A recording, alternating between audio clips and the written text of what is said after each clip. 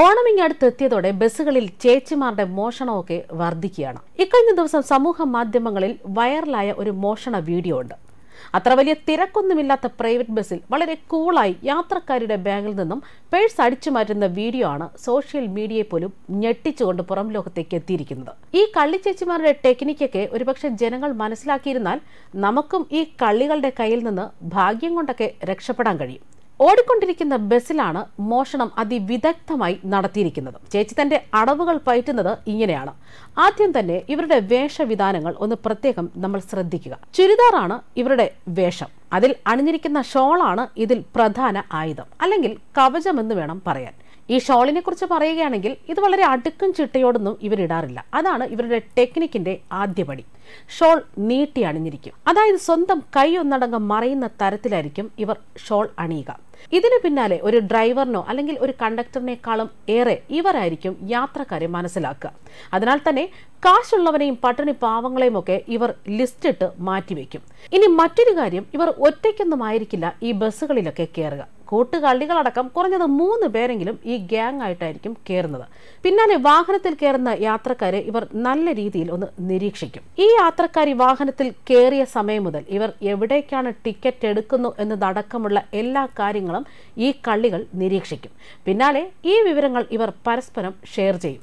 ഏതാണ്ട് യാത്രയൊക്കെ ഒന്ന് രസം പിടിച്ച് വരുമ്പോൾ ഇവർ ആ യാത്രക്കാരുടെ പക്കൽ എത്തിയിരിക്കും. തുടർന്ന് യാത്രക്കാരിയുടെ അടുത്ത് ചെന്ന് ഇവർ ഒരു തിക്കും തിരക്കുമൊക്കെ നടത്തും. മുട്ടലും തട്ടലുമൊക്കെ കൊടുത്ത് ഇതൊക്കെ അറിയുന്ന ആളാണോ എന്നായിരിക്കും നോക്കുക. പിന്നാലെ പണി അങ്ങ് തുടങ്ങും. നമുക്ക് ഈ ദൃശ്യങ്ങൾ കണ്ടാൽ അറിയാം. ബസ്സിൽ നിന്നും ഇറങ്ങാൻ നിൽക്കുന്ന യുവതിക്ക് തൊട്ട് പിന്നിലാണ് ഈ കള്ളിച്ചേച്ചി നിൽക്കുന്നത്.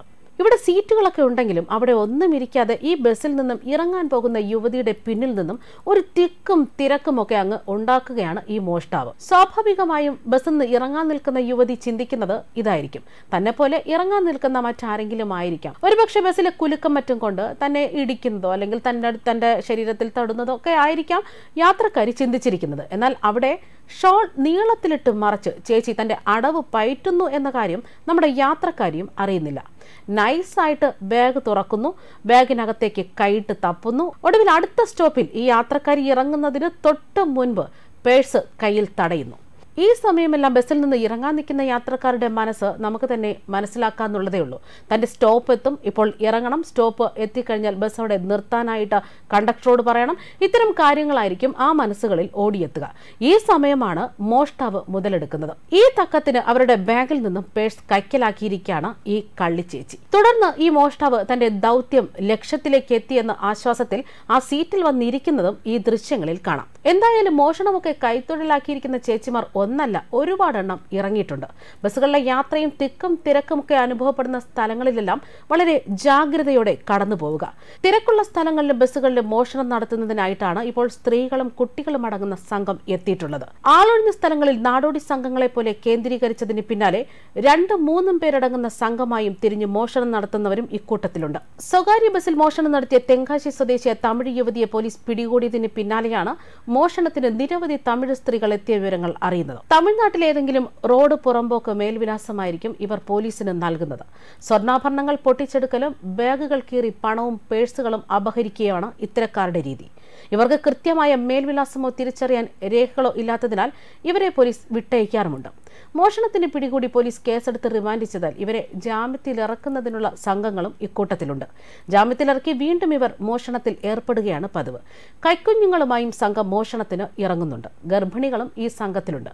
മോഷണം മുതൽ അപ്പോൾ തന്നെ സംഘത്തിലുള്ളവർ മറ്റുള്ളവർക്ക് കൈമാറുക ചെയ്യുന്ന രീതിയും ഇവർക്കിടയിലുണ്ട്.